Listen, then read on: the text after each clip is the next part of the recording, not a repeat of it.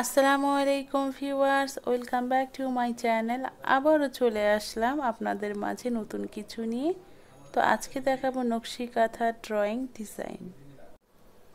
তো এখন আমি এরকম দাগ টানা কাগজ নিয়েছি। তো কাগজ নেওয়ার পেছনে কারণ হচ্ছে যেন মাপগুলো ঠিক থাকে নকশি কাঁথা ডিজাইনের এবং হাইটটাও ঠিক থাকবে চার পাশ থেকে। তো এই জন্য আমি নিলাম যেন আপনারা এরকম দাগ টানা খাতাতে আমার মতো দেখে দেখে সহজে আঁকতে পারবেন। তো এখন আমি একটা ছোট্ট করে আঁকবো এবং এই আঁকাটা কার্বন দিয়ে পরপর বসিয়ে বড় করব। তো প্রথমে আগে আউটলাইনের দাগটা দিয়ে নিব। তো প্রথমে আমি আউটলাইন টেনে নিব দুইটা দাগের উপর দিয়ে।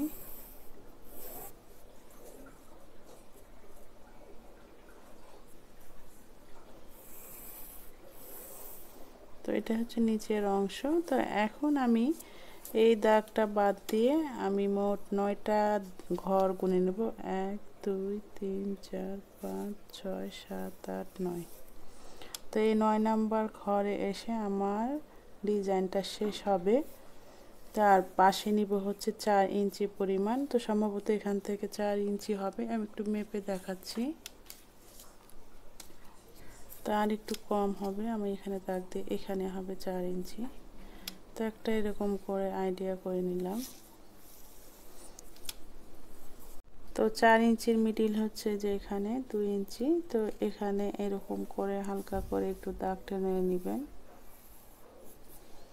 তো এখন আমি কিন্তু দাগটা এখান থেকে নয়টা ঘর নিয়েছি, আর এটা আউটলাইন এটা বাদ দিয়ে নয়টা ঘর আগে গুনে নেবেন। তো এখন আমি এই ঘর, এখান থেকে দাগটা টেনে এক, দুই নাম্বার ঘর ধরে আমি একটা পাতার মতো শেপ দিব।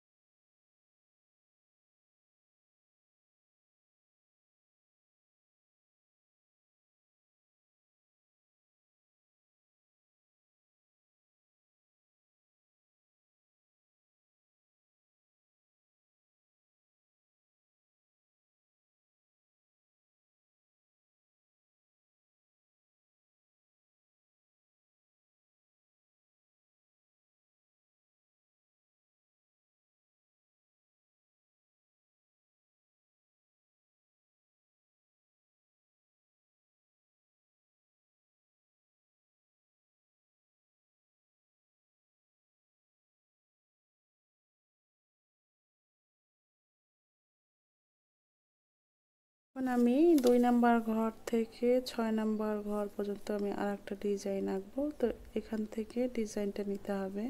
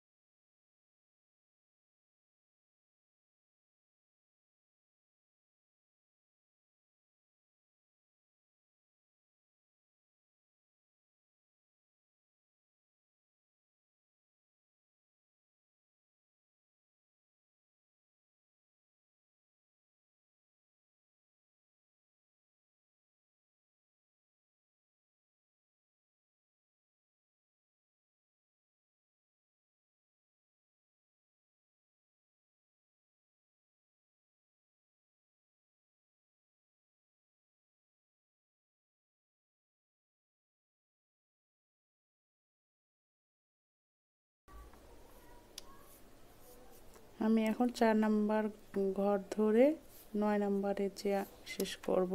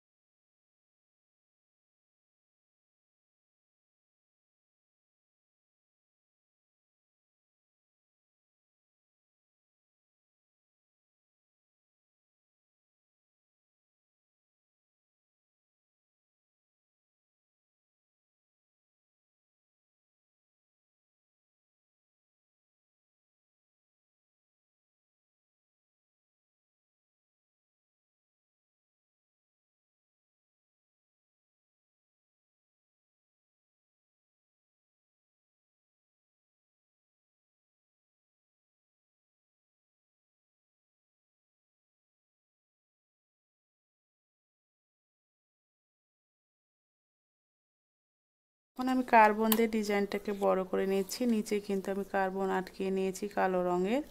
তো আপনারা এই কার্বনগুলো দশ টাকা করে নীল খেতে পাবেন, ওখান থেকে কিনে নেবেন বা অন্য যে কোনো বই খাতার দোকানেও কিন্তু পেয়ে যাবেন এগুলো। তো ঠিক এইভাবে করে একটু চাপ দিয়ে ড্রয়িংটা মূল কাগজে ড্রয়িং করে নেবেন।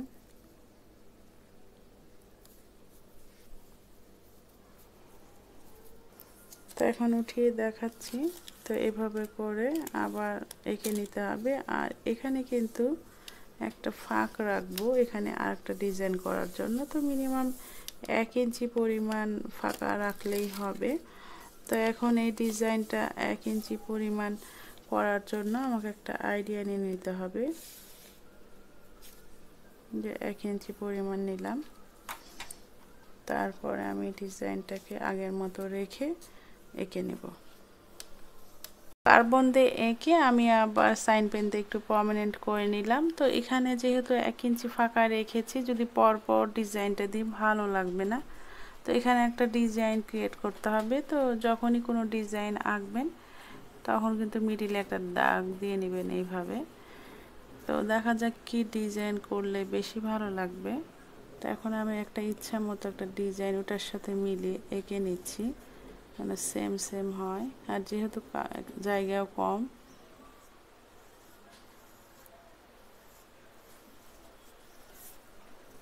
ঠিক এইভাবে করে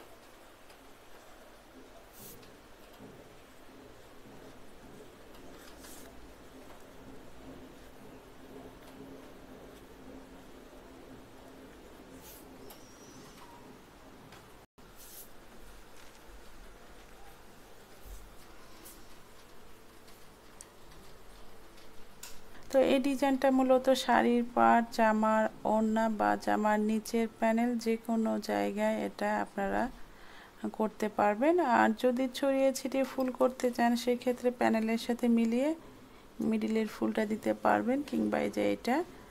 তো আমি ঠিক এইভাবে যে আঁকালাম, আপনাদের জন্য সহজ হয়, সেই জন্য কিন্তু এভাবে মাপ যোগ করে আঁকলাম। তো আশা করি আজকে ভিডিওটি ভালো লেগেছে। ভালো লাগলে লাইক কমেন্ট শেয়ার করতে ভুলবেন না। সবাই খুব ভালো থাকুন। আল্লাহ হাফেজ।